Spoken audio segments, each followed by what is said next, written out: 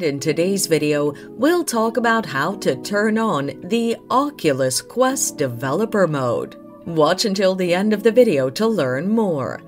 Turning on Oculus Quest Developer Mode from the app. You need to first register on the Oculus website as a developer before enabling the developer mode. Here are the steps to follow. Turn your headset on. Locate your Oculus app from the device and open it by signing in. At the bottom right, you'll see Settings. Click on it. Click on Quest to connect it. From the device list, click More Settings. Click on Developer Mode from the list. Toggle the Developer Mode on. Exit from Settings and reboot the Quest. When the Quest turns on, confirm the developer mode is enabled by using the Quest settings menu and check for the developer category. Enable developer mode directly from your Quest headset.